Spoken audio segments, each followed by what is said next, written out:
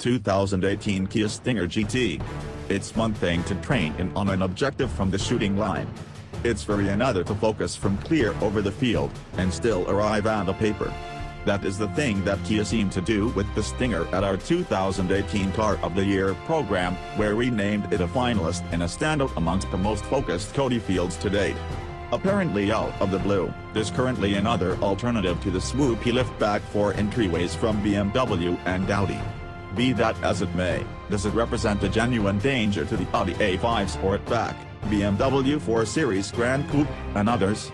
To discover, we've taken conveyance of a 2018 Kia Stinger GT2 RWD for one entire year, and I have the considerable fortune of being its chaperone.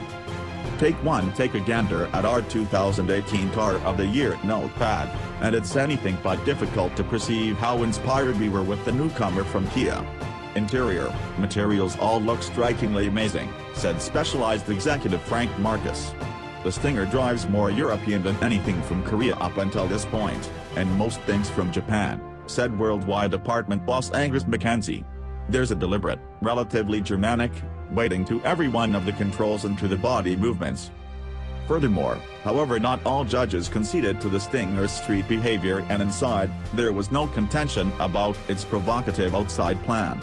MacKenzie depicted the Stinger as flawlessly surfaced and outwardly capturing, going ahead to state, it would appear that a rich 4 entryway fastback, with a trace of the old Maserati 3200 GT. The Stinger has quite recently started to hit the roads at the season of this written work, so our analyzer has pulled in a lot of consideration regardless of whether it was interested bystanders at the corner store needing to recognize what it was or Dodge Chargers on the interstate needing to perceive what it could do. Our splendid high-chrome red Stinger GT essentially couldn't be allowed to sit unbothered regardless of where I took it. I reprimand Kia configuration manager Peter Schreier for penning such an enchanting shape.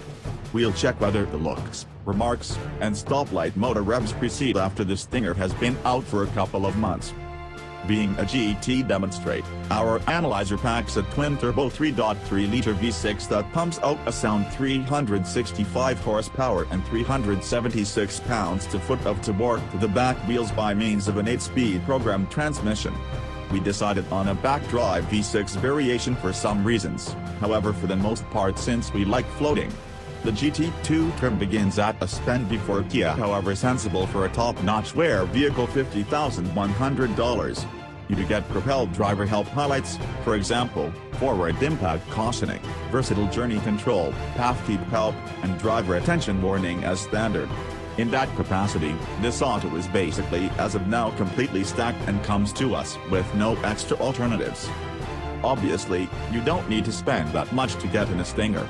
A base 2.0-liter turbo begins at $32,800, and a base GT, which packs the same 365 horsepower punch as our auto, begins just shy of $40,000. Are the additional extravagant accessories worth the cash? We plan to include an answer inside the following year. We're similarly as anxious to perceive how simple this auto is to live with every day as we are to take it out on our most loved byways and maybe the periodic auto cross or track day. We're likewise anxious to perceive how the Stinger stacks up against more costly opponents from Germany as far as quality, solace, esteem, and fun. The Bolt has arrived on the objective, yet exactly how close is it to the bullseye? Stay blocked as we discover.